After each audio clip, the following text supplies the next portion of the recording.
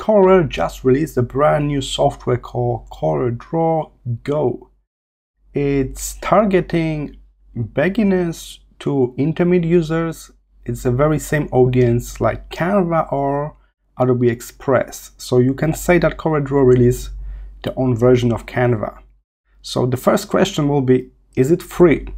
Not really. They did not go with this freemium model like Canva. So it's a paid software but you can get a 15 days free trial so that's what i'm doing today. So let's check it out. It's a brand new software just released. I just make myself a free account a free trial account for 15 days. And after you log in you'll be welcome with this screen.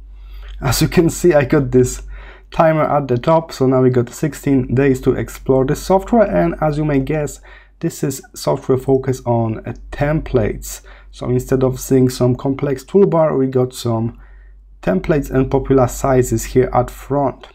You can scroll down a bit to see popular templates. And there's even button to explore more. If you click on that, they will give this pop-up window when you can specify which template you want and you can also start from a blank page so that's also an option all right so let's do just that. Let's select a blank page first so we can explore different options. So let's do just that. I select a custom blank page. I can decide portrait or landscape. I got size here in inches. I can change my unit, so that's really good. We can set a backdrop as the solid color and then swap the color generate a custom color. So all of that is here. Let's go with this transparent one. And what's good is we can actually decide about color mode. We can do it for print or for screen. And from beginning you can specify number of pages. So actually this create new project window is pretty good.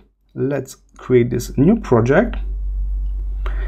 And that will take us to a project view. All right. On the left we got very short tool panel. And first thing you will notice here at this me that was the draw button. Okay if you click on that you may notice that you got several brushes. So that's not something that we can see on like Adobe Express or Canva. So they definitely kind of go from those CorelDRAW roots here. We got proper draw tool. So let's just try some basic brush and then then you can use your mouse or the touch device to draw that. We can zoom in a bit just using your scroll on your mouse.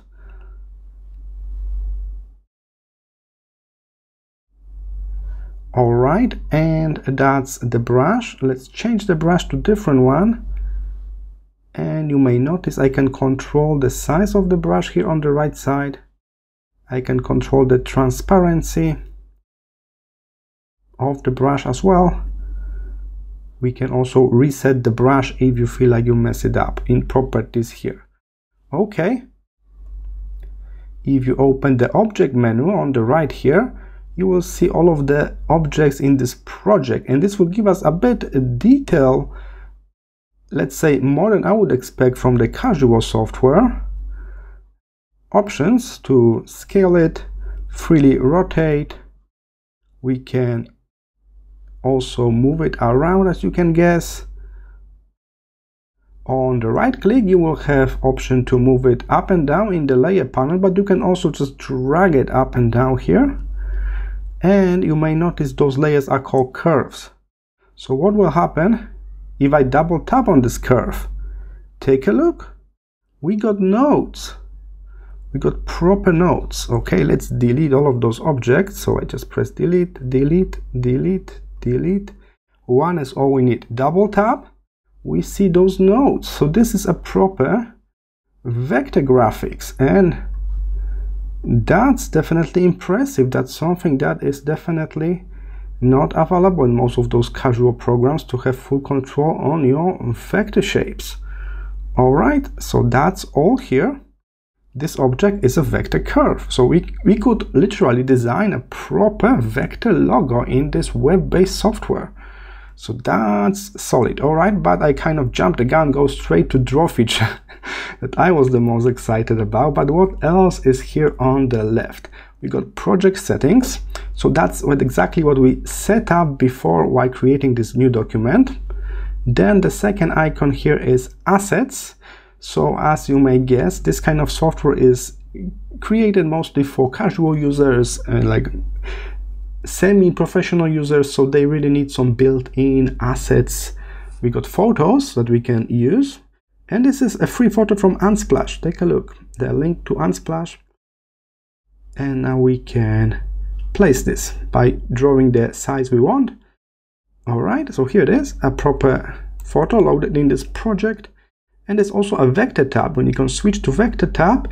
And then we got the proper scalable vector graphics. It's very clear, two different tabs for raster and vectors. And when you load like an icon like this, here it is. This is SVG. What does it mean?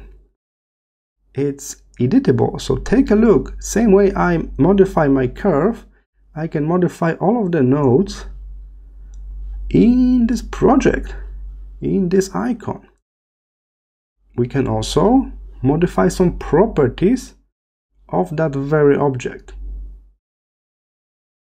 The main property is a color, fill color. I can change that to any custom color I want. That's uh, really easy to do with vector shapes. We can easily replace the object color. We can add stroke around it. We can decide what type of line do you want. So it's very heavy on vector editing and that's a good thing. All right, so we got basic properties here, like the fill color that can be changed to gradient as well. All right, all of that is here. Then we got objects, that's your layer panel when we can create new layers and new pages as well. So right now I got single page document, but I can click here and I will have page two. So I can jump between page one and page two. And if you zoom out, you can actually see that pages are existing in this document physically next to each other. So that's nice. All right, so that's a little introduction of the interface. We got also import button when we can import images from your own device. There's a proper shape tool with multiple built-in shapes, so not only rectangle and circle. Draw tool, that's like a pencil tool you could say, but we can also change to pen tool. Take a look, there's a proper pen tool. So imagine Canva with proper pen tool. That's what it is. Okay, so we got proper pen tool as well. Then is a text tool that will be important for customizing all of those templates, adding your own text. This text tool, and that's end of this very short tool panel. We got zoom tool and pan tool when we can pan around. You can also zoom by scrolling on your mouse. That's also an option. All right, so what if you want to finish up with your design, you want to export that? What formats are available? We can click export here at the top right. You got option to download in JPEGs, PNGs, this PDF, and also SVG. So if you design a logo using those like vector tools like pen tool and all that stuff, you can actually download the vector file as well. There's also print option when you can print it out. If you use that, you will go straight to your printer settings. And you know what? That's something that is missing in, in Canva and Adobe Express. Okay, so I literally make a tutorial that got like 5,000 views. People simply try to figure out how to print this stuff out.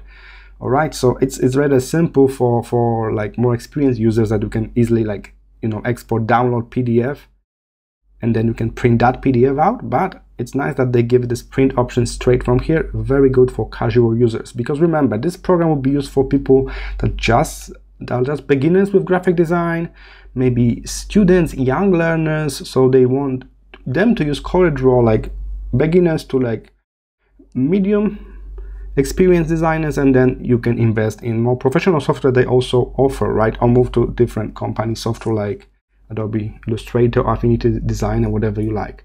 Okay, so that's a direct competitor to Canva to Adobe Express. All right, so they don't try to compete here with, I don't know, uh, Adobe Illustrator or Adobe InDesign. Okay, as you can see, the project is safe in the cloud. This whole software runs through a web browser, so we definitely need an internet to run it. Let's do a quick test. I just kill my Wi-Fi and take a look. I got this error message we are offline. I can click OK and take a look. We can still edit the open project, all right? So even with Wi-Fi off, we can still make changes to this open project just fine. But if you notice top left, our save status is off. We did not save this. All right, so I was able to make changes and I was also able to download the project while offline. And when I back to online, they update the version here in the cloud. So nothing was really lost by losing the internet for a while. I actually managed to download the project as well. All right, let's go back here to this menu icon at the top left when we can create a brand new project from here. We can save the copy in the cloud. That's something that kind of happened automatically.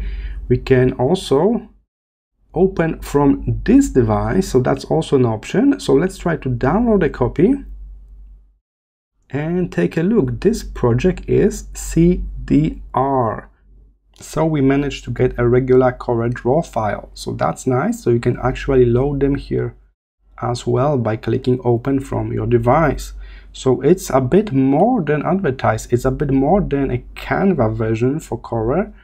It's got a few more more like premium more advanced feature for more advanced users. So as i mentioned it's not only for totally casuals you can actually do some decent work here. And I think there will be also big market for Chromebooks. Remember you cannot really install good graphic apps on Chromebook and this is all running in the web browsers. You can like open and edit regular CDR files SVG files. So that's big for Chromebooks.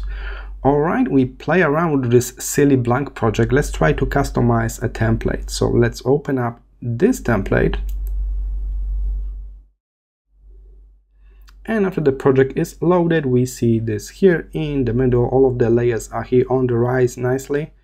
Remember you can always reorder them just pulling stuff around. You can also click this eye icon to hide layers temporary.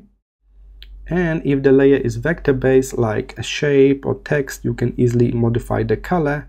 For text we can also modify the font and the size of it. Click this little arrow to have more features.